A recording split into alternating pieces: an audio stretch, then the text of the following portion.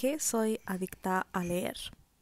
Así es como suena mi cabeza cuando no estoy leyendo o no he leído durante mucho tiempo. Y así es como suena cuando leo regularmente.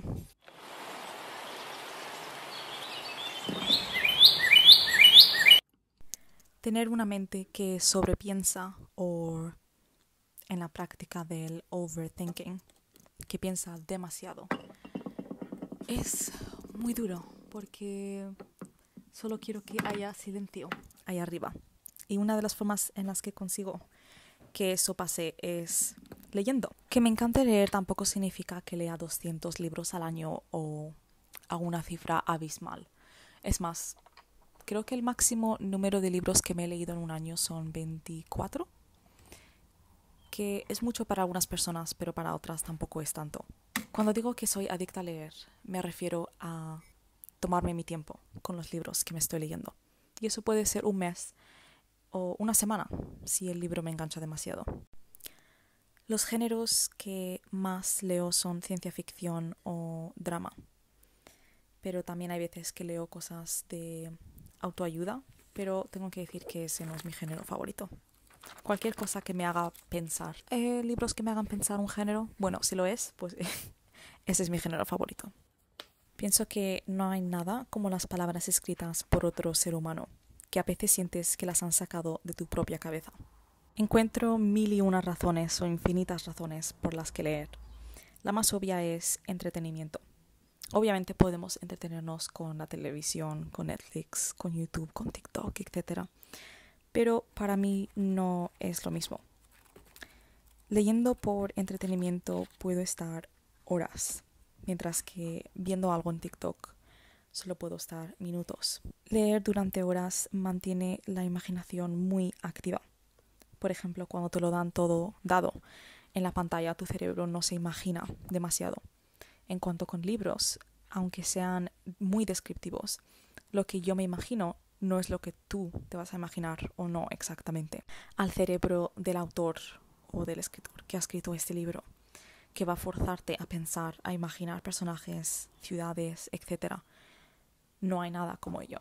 Recientemente vi esta frase em, que dice, You're given the framework, but you build the house. Y creo que esta frase es muy específica en cuanto a este libro, quiero decir a este vídeo de YouTube, de por qué leer o por qué soy adicta a leer. Y es que cuando tú lees un libro te dan el framework, pero es tu cabeza la que crea la casa. Espero que eso tenga sentido. Las interpretaciones de una novela son infinitas. Tu versión de un libro dice muchísimo de ti por cómo lo interpretas y la forma en la que tú lo interpretas va a ser muy diferente o diferente a la que yo interpreto.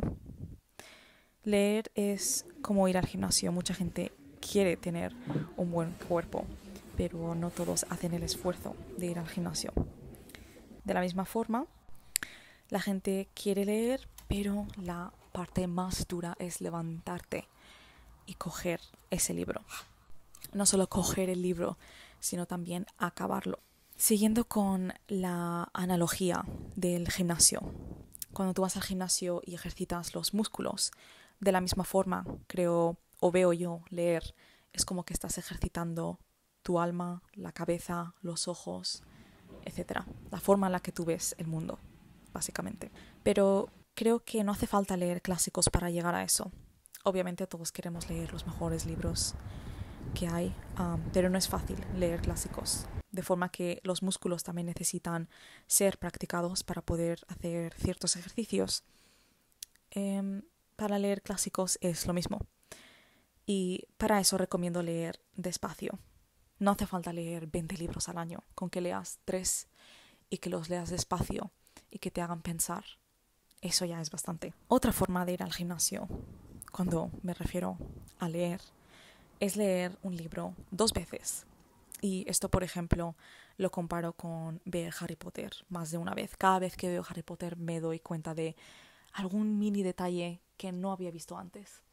Y cuando lees un libro más de una vez, pasa lo mismo. El orden en el que leo libros. cuando decido leer un libro no es una decisión del todo trivial, pero tampoco consciente.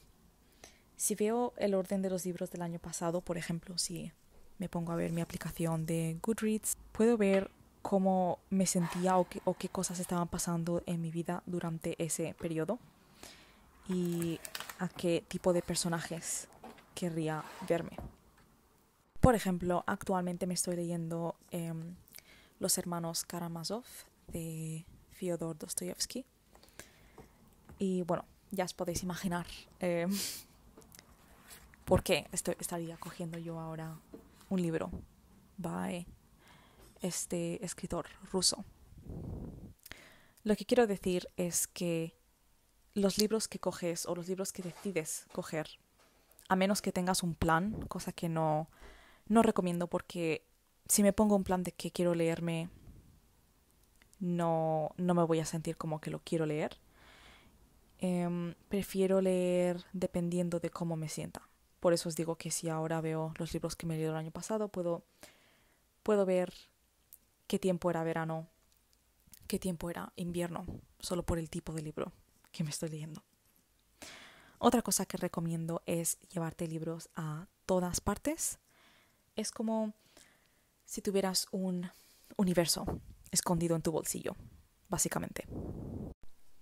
Hay veces que voy a la oficina en tren y pues me tardo como una hora y esperando el tren, 15 minutos, una hora en el tren, una hora volver en el tren, que podría estar en TikTok o en YouTube o escuchando música. Todas esas cosas están bien, hay veces que no me apetece leer, pero la mayoría de veces sí que estoy leyendo. Porque aunque lea 15 minutos esperando mi tren, esos 15 minutos he vivido una vida diferente eh, en comparación con viendo lo que está haciendo la gente en Instagram. Y eso, como os he dicho, si quieres llegar a un nivel donde leer se vuelve un hobby y es, y es algo que de verdad disfrutáis, yo empezaría con leer libros de temas o de géneros que de verdad os interesan y que no estáis leyendo solo por decir que estáis leyendo algún autor específico o algún género específico. Una vez hayas llegado a un nivel donde os encanta leer, ya me movería a los clásicos. Uno de los, unos de los libros que os recomiendo para empezar serían libros que son light en comparación con clásicos, pero que al mismo tiempo son libros tan buenos que os van a hacer encantar leer. Uno de ellos es The Overstory by Richard Powers. Y este libro habla de la relación de los humanos con los árboles y la naturaleza en general. Luego también os recomiendo The Three Body Problem by Cixin Liu, que va a ser una serie pronto, así que leeros el libro. Em, y ese libro es ciencia ficción y va de cómo los humanos reaccionarían si encontráramos aliens. Y para acabar con este vídeo os voy a leer uno de mis intros favoritas, el del libro The Overstory by Richard Powers. First, there was nothing. Then, there was everything. Then, in a park above the western city after dusk, the air is raining messages. A woman sits on the ground leaning against a pine. Its bark presses hard against her back, as hard as life. Its needles scent the air, and a force hums in the heart of the wood. Her ears turned tuned down to the lowest frequencies. The tree is saying things in words before words. It says, Sun and water are questions endlessly worth answering. It says, a good answer must be reinvented many times from scratch. It says, every piece of earth needs a new way to grip it. There are more ways to branch than any cedar pencil will ever find. A thing can travel everywhere just by holding still. The woman does exactly that. Signals rain down around her like seeds. Brook runs far afield tonight. The bends in and elders speak of long ago disasters.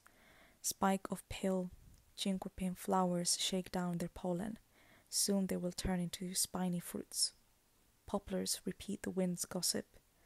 Parmesans and walnuts set out the rivals of rowans in their blood red clusters.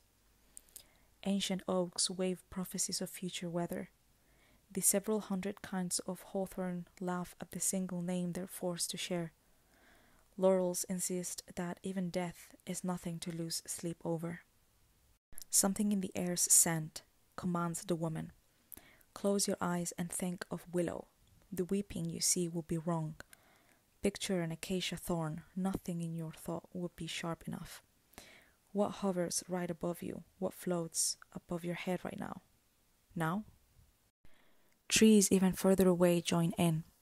All the ways you imagine us, bewitched mangroves up on stilts, a nutmeg's inverted spade, gnarled Baja elephant trunks, the straight up missile of, of a saw, are always amputations. Your kind never sees us whole. You miss the half of it and more. There's always as much below ground as above. That's the trouble with people, the root problem. Life runs alongside them, unseen, right here, right next, creating the soil, cycling water, trading in nutrients, making weather, building atmosphere, feeding and curing and sheltering more kinds of creatures than people know how to count. A chorus of living wood sings to the woman. If your mind were only a slightly greener thing, we'll drown you in meaning. The pine she leans against says, Listen, there's something you need to hear.